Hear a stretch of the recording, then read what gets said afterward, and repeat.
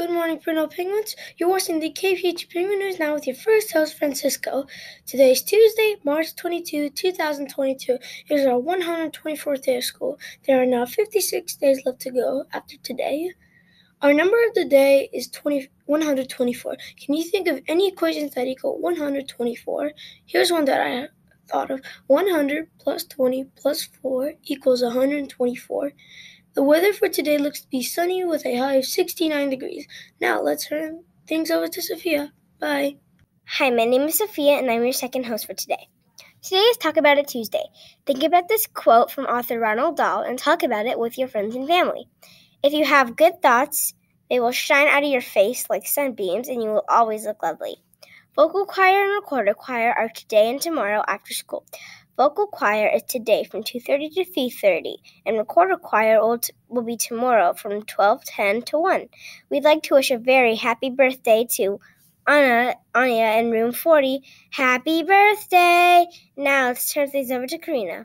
Hi, my name is Karina, and I'm another one of your hosts for today. Did you know that today's World Water Day?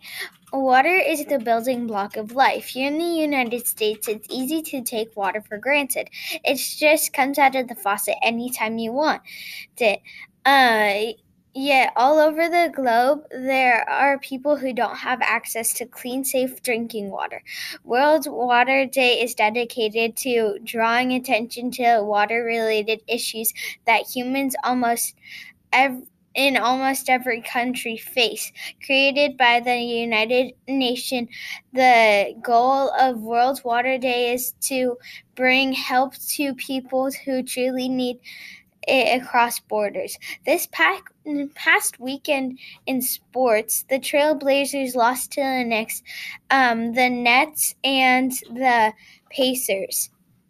In college basketball, March Madness continues with Gonzaga University from Washington winning a close game to move um, to the Sweet 16.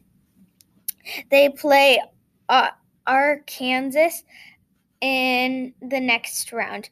The fourth grade basketball clinic is after school today in the gym. Now we'll hand things over to Darius. Bye, Penguins. Hello, Penguins. I'm Darius, and I'm your final host for today. It's time to now for our Penguin Prize winners of the day. They are Colin Room 14 gets Mrs. Swan, Mrs. Swan's chair for the day on Wednesday. Andrew in Room 21, Julian in Room 4, Madeline in Room 13, and Francis in Room 10 won Nerf basketball with Mr. Durfee. He will come to get you to play. Teacher time with Miss Marshall goes to Arthur in Room 14. Ida in Room 43 won a class popcorn party. The Penguin Trophy will be sitting on Adrian's desk in room 19.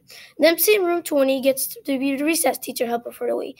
Emmy, in room 1 gets to have a special time with Miss Lineski. Logan in room 15 gets to play games with Miss Kim in the library.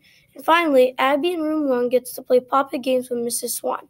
Congratulations, Penguins. Keep up the good way. Let's show Penguin Pride by being safe, respectful, and responsible. This is Dari saying goodbye from the KPH News now. Have a terrific Tuesday.